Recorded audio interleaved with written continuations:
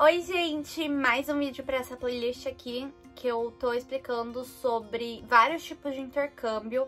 Então, se você caiu de paraquedas aqui, eu sou a Joyce e eu faço vídeos é, sobre intercâmbios e sobre a vida aqui nos Estados Unidos. E nessa playlist, especificamente, eu tô falando de vários tipos de intercâmbio.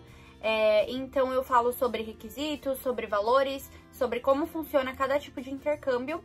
E aí, se você der uma olhadinha, eu tenho certeza que você vai conseguir achar um intercâmbio que cabe no seu bolso ou um intercâmbio é, certo para você. Nesse vídeo aqui hoje, eu vou falar sobre o intercâmbio da IESEC. Para quem não sabe, a IESEC é uma organização sem fins lucrativos e ela é uma organização que é totalmente gerida por jovens, então eles prezam muito essa questão da liderança e tudo mais. É, e eu, particularmente, já tive contato com pessoas que fizeram intercâmbio com a ESEC, que trabalharam na ESEC, é, porque quando eu tava na faculdade, eu fiz faculdade lá em Bauru, é, eu tinha muitos amigos que faziam parte da organização de lá. Então eu sei um pouquinho é, sobre esse intercâmbio e aí eu decidi vir compartilhar aqui, porque vai que é o um intercâmbio certo para você.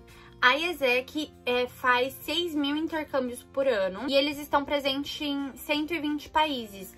Então, mais ou menos o que acontece é a IESEC aqui do Brasil é, tá conectada com várias IESECs do mundo. E aí a galera daqui do Brasil organiza um intercâmbio para você voluntariado. E aí você vai para esse país que você escolher, que você escolher a vaga. E daí você realiza o seu intercâmbio lá. E essa organização, a ESEC, vai te dar suporte. Eles falam, né? antes do intercâmbio, durante o intercâmbio e após o intercâmbio. Então, falando assim da minha visão que eu tenho sobre a IESEC, que eu já tive amigos, né, que trabalharam na IESEC, é um intercâmbio assim bem viável para jovens é, que querem ir para outro país e querem ter talvez a possibilidade de ter uma acomodação é, sai um pouco mais barato por não ser um intercâmbio de viagem ou por não ser um intercâmbio de fazer curso. E também eu já conheci intercambistas que vieram de outros países fazer intercâmbio com a ESEC no Brasil. Então eles iam lá e saía com a gente, assim, a galera da faculdade. E pelo que eu ouvi, eles gostaram muito da experiência. Gente, é óbvio que vai ter perrengue, porque assim, às vezes eles vão te colocar na casa de uma pessoa e para quem acompanha aqui meu canal sabe que fazer intercâmbio e morar na casa de alguém nem sempre vai ser mil maravilhas. Esse intercâmbio da ESEC, ele tem poucos requisitos, então eu acho que é um intercâmbio muito positivo por causa disso. Eu já compartilhei um vídeo aqui no canal sobre intercâmbio voluntariado com a World Packers, que é mais ou menos nessa vibe também de você ir, se inscrever, fazer um intercâmbio voluntariado. Eu acredito que a maior diferença entre a ESEC e a World Packers é que uma é uma organização sem fins lucrativos, então talvez pode baratear o seu intercâmbio. Mas, por outro lado, a ESEC é gerida por jovens, o que talvez pode trazer aí uma grande rotatividade, não tanto uma grande experiência das pessoas que estão gerindo o seu intercâmbio. Coisa que eu acredito que a World Packer já vai ser mais assim, adulta na questão. Mas eu conheço pessoas que fizeram os dois tipos de intercâmbio e tiveram uma experiência positiva sim. E para quem não sabe, eu tô abrindo essa playlist para trazer pessoas que fizeram esse tipo de intercâmbio para vir falar aqui para vocês qual que foi a experiência delas, se elas é, recomendam o intercâmbio que elas fizeram, quanto que foi o valor, né, de tudo, de, se teve que pagar passagem, quanto que foi pra agência. Então, é, eu tô dando essa introdução sobre a IESEC, mas eu vou trazer algumas pessoas, inclusive alguns amigos que já fizeram, pra vir falar aqui pra vocês quanto que custou, como que foi a experiência deles.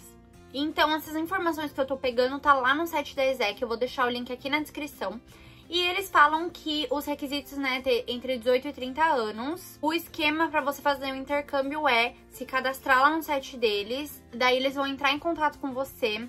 Eles vão fazer reuniões com você para saber o que você tá procurando, para saber qual é o seu perfil e escolher o melhor tipo de intercâmbio para você. Aí a ESEC tem três tipos diferentes de intercâmbio, que é voluntário global, trabalho global e professor global. Então, primeiro, que é o voluntário global, é, vai te levar para fazer uma experiência em alguma ONG em outro país. Então, é, é mais essa vibe, assim, de você é, aprender mais sobre liderança, ajudar a ONG, né? Ter uma causa maior. É isso que eu vejo a diferença entre a ESEC e World Packers. né? Que a ESEC eu acredito que tá mais focada nessas questões é, maiores, assim, globais, enfim. Então, é, esse tipo, né, o voluntário global pode ser em ONGs, escolas, e esse projeto vai estar vinculado aos Objetivos de Desenvolvimento Sustentáveis das Nações Unidas. Esse tipo vai ter duração de seis a oito semanas. Então, não é uma longa duração, né? É curta duração. A segunda opção é, do intercâmbio pela ESEC, ele é um intercâmbio que vai ter uma bolsa auxílio, então você vai receber para trabalhar. Essa segunda opção chama Talento Global e vai te dar uma experiência em alguma é, organização, né, algum lugar mais corporativo em outro país. Ele tem a duração de 6 a 72 semanas, então você é, tem a possibilidade de ficar um tempo maior que no caso do voluntariado. O talento global é algo mais profissional, porque vai ser um trabalho internacional. E aí, é, eu acredito que nesse, é, a IESEC vai ver mais o seu perfil. Então, eu vou ler aqui pra vocês as áreas que eles falam que tem trabalho nessa parte de talento global.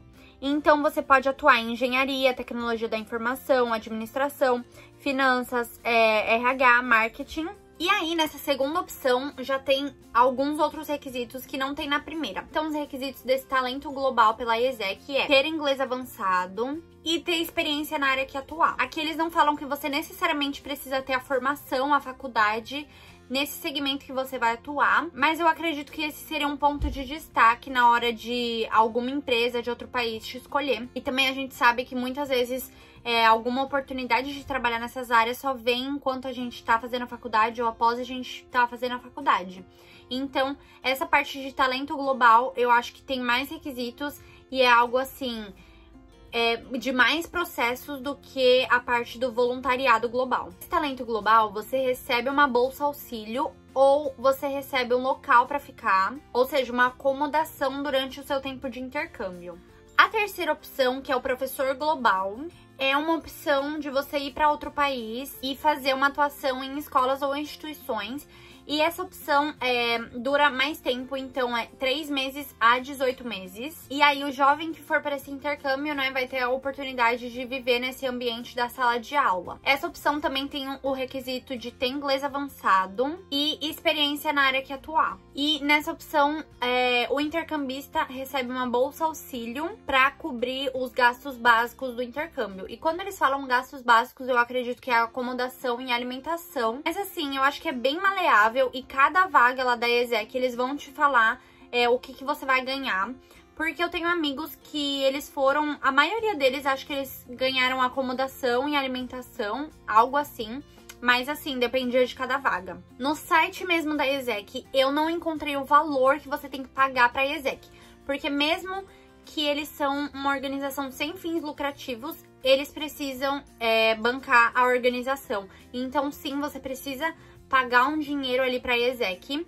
É, e como eu falei, né, no site eu não encontrei, mas no site deles eu encontrei um post no blog que uma época eles deram é, promoção de 40%, então pode ter a possibilidade de promoção. E também em outro blog é, que eu fui lendo de pessoas que fizeram o intercâmbio da ESEC, eles falaram que pagaram entre mil reais e mil e quinhentos reais na época, então tipo uns três anos atrás. Aí eles falaram que não incluía o valor de passagem aérea, que dependendo aí do país, gente, sai bem caro para quem já viajou, para quem sabe. É um valor um pouco alto, mas daí você tem que ver para qual país você vai. É, a documentação também eles falaram que não estava incluso. E algumas pessoas fecharam seguro viagem por conta própria. É, eu vou convidar algumas pessoas que fizeram esse tipo de intercâmbio para falar aqui para vocês quanto certinho eles pagaram, é, como que foi a experiência deles, se tiveram perrengue ou não tiveram. É, eu tenho dois amigos próximos que fizeram esse tipo de intercâmbio. Então, vamos ver se eles vão topar fazer o vídeo aqui. Então se inscreve no canal e dá uma olhadinha nessa playlist para ver quais são os tipos de intercâmbio que existem por aí. É, e para ver também experiências de pessoas que fizeram intercâmbios diferentes para você ver qual que é o melhor para você, qual que se encaixaria mais no seu perfil. E eu espero estar tá trazendo essa informação aqui para vocês, que muitas vezes a gente não sabe do tanto de intercâmbio que existe aí. Eu mesma fazendo essa playlist, eu tô pesquisando novos tipos de intercâmbio, existem intercâmbios que eu nunca tinha ouvido falar. E aí eu tô trazendo aqui pra vocês para vocês terem a possibilidade de fazer o intercâmbio que se encaixa mais no seu perfil. Muito obrigada para quem assistiu o vídeo até o final. Não se esquece de deixar o seu like, se inscrever no canal e comenta aí o que, que você achou. Tchau, gente, até a próxima!